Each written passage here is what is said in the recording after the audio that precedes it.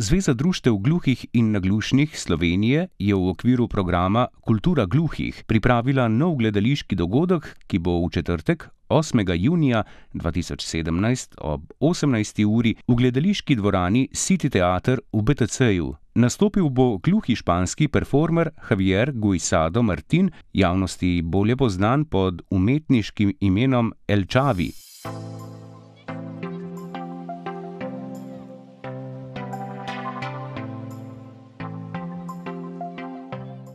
V njegovem šovu boste videli pantomimo, njegovo izjemno ekspresivno igro z mimiko obraza, veliko bo tudi spontanih interakcij z občinstvom.